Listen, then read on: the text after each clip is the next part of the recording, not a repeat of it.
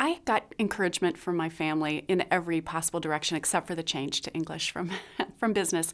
Um, they pretty much made me feel empowered to pursue what I want, but there was a strong business bias in my family. That's how you know everybody earned their living, and so there wasn't understanding um, much beyond uh, that. Um, so I was fortunate to find mentors when I thought I wanted to pursue an academic career, and I went to graduate school in English, who were very generous. So whichever way I was going to turn, it seemed like there were supportive people.